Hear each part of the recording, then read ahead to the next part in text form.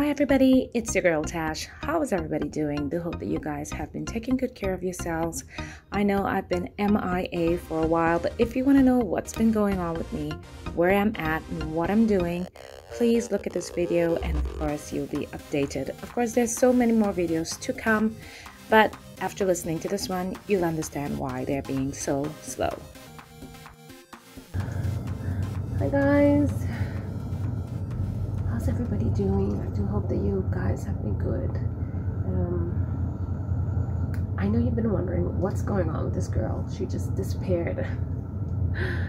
well, to be honest, um, I just got really, really busy and I could not find the time to upload anything to YouTube. I'd actually done a video um, that I wanted to upload for you guys, but it uh, between all of the running around and stuff, it just got really, really, really busy. So, just to give you an update, what's been happening. So, um, uh, for the last year, last year, I have been working on a radio show with um, a friend of mine, um, and um, that didn't go through. It was supposed to go through in November, but that didn't go through. So um, things quickly changed, and of course, um, some of you who know me would know that I really am, you know, trying to stay in tune with what God is telling me. And somehow it would seem that God was leading me back to this place. Um, so the week before that even fell through, I had already um, received um, some interest from my company, Norwegian Cruise Line, to come back out to work. Anyway, so um, I called them back made arrangements to have a contract. So my contract was set to begin January 8th.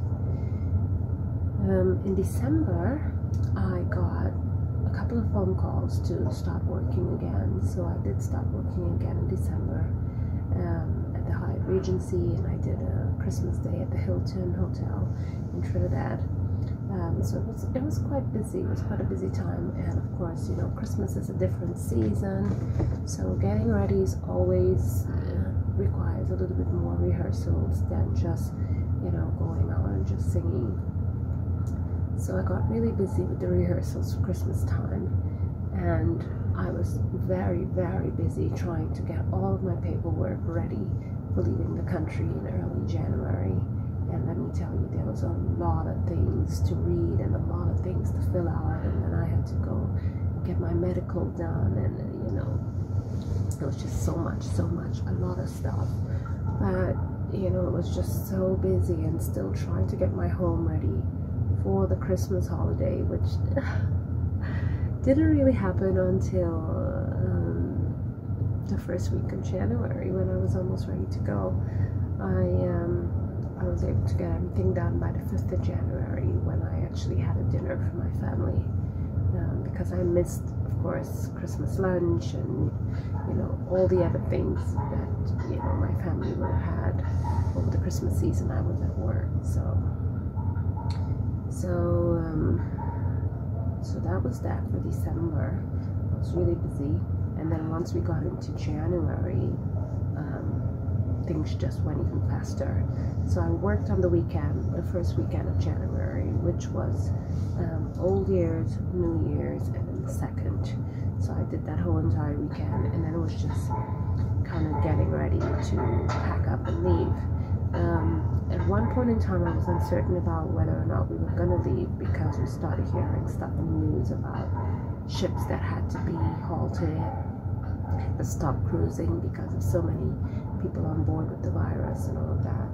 So, and the company was not writing anything, so I assumed that we were not going to go anymore. I kind of started to relax a little bit.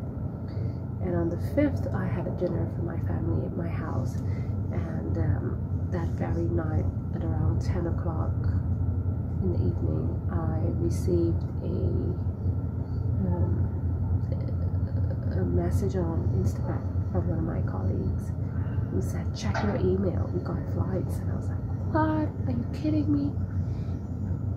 So we got the flights and I was not so excited anymore because I was kind of like, what's going on? You know, you, you guys didn't write all week what's happening and then you just send us a flight like two days before we leave. So, but still I knew that, you know, God was in control and he knows all things and he's, you know, ordering my steps. So I said, fine, whatever. I'm, I'm just gonna pack up and get ready.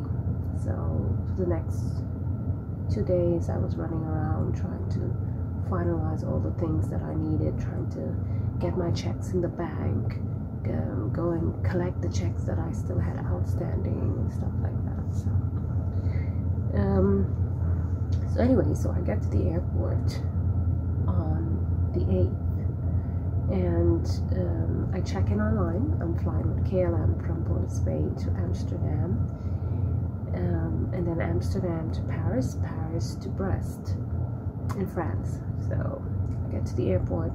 The girl um, is checking me in. She takes my documents, my immunization card, um, and then she asks, "Do you have your health declaration form?" And I was like, "What health declaration form?" She's like, "Oh, you have to get one of that to enter France, and you also need to get a passenger locator form filled out and I can't check you in until you have those things. And in my brain, I was like, are you kidding me? so, anyways, I went online and I found it. And let me just tell you, I was so stressed out trying to fill that out in the airport. But luckily, thank God, my phone is like a little office. Anyways, I have Scanner and DocuSign and Adobe Print and Sign and all of these things on my phone. So I was able to download the form and fill it out and sign it and um, and get everything ready. And the girl at the airport was so disgustingly rude. She was so rude, rude, rude, rude. As I understand it, they don't really work for the airlines, but they work on behalf of the airlines to check people in. So they're extremely rude at the airport in Piarco International Airport. They were not nice at all. None of them were. They were disgustingly rude. Um, there was a young man though who was uh, doing the wrapping of the, the luggage and stuff. He was so kind. He was actually there trying to help me. And I was like, it's okay. But he was very, very um, friendly and very kind and very helpful. Um, what else? So I left Trinidad and I went to Amsterdam. We had an overnight flight and left Amsterdam a couple of hours after to fly to Paris. Um, and the flight to Paris was a little bit delayed, it was a little bit late. So by the time I arrived in, in, in Paris, it was just to run to my gate quickly to meet my colleagues who were already there um, and get on the flight for Brest. So we got on the flight and we arrived in Brest. We stayed at a hotel overnight where we had to quarantine in that hotel room until the next day. Two of them had to stay a little bit longer because they were flying from the UK, and the UK is on the on France's list of you know countries that has like a lot of COVID cases. So uh, we got on the ship on the 9th around 3 in the afternoon and then we had to quarantine for like 10 days. Um, so I got into like five days of my quarantine and it's a whole long story. I don't even want to get into it. But um, let's just say that I was not a happy camper in that cabin. And um, I, I, I started to feel really congested in my nasal cavity. And I called for the nurse to come and give me a swab. And she came and she swabbed me. And then she called me back a little bit later on to say that the test was actually positive. So, yeah.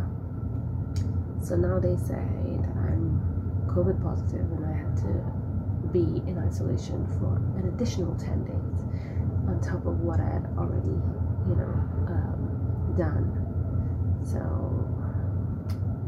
yeah. Um, so that's that. So, right now I'm actually in isolation and I'm on day three of my isolation out of the new 10 days of isolation that I have to do. Um, I understand that some of my other cast members are arriving, so some of them would be out of isolation um, soon, and some of them would still be in isolation by the time my isolation is done. So I'm just excited to get back to rehearsals. I'm just excited to get back on stage and to start rehearsing again. And um, yeah, this is a whole different environment now. It's, it's very different to what we're used to. Um, I don't know what it's like yet outside of this cabin because, like I said, I've been quarantined since I got here. So, you know, thankfully, luckily, um, the symptoms that I have are, I have only one symptom actually, and it's quite mild. I have just this congestion, as you can hear, and um, I think it would have been a lot better if I had a cabin where I had a balcony that would allow me to get some fresh air. But um, all the cabins with the balconies are being refurbished at this time, so hence the reason I'm stuck in a cabin with a porthole. I'm thankful for the porthole, of course, um, and I'm just not just locked up in a dark cabin.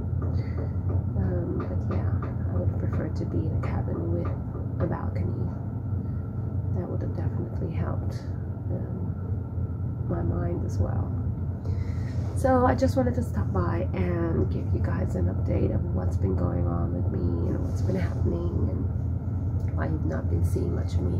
And the other thing is, on on the ship, we are somehow blocked out of YouTube. So we can't actually log into YouTube. We can actually use YouTube on board. So what I'm doing is actually recording these videos. And then when we get you know a chance to get out on the port or you know on a different network then I'll be able to upload these videos to YouTube so you can see what's happening. So uh, take care of yourself everybody. Do hope that you guys remain healthy remain happy. It's your girl Tash. Say ciao for now Talk soon.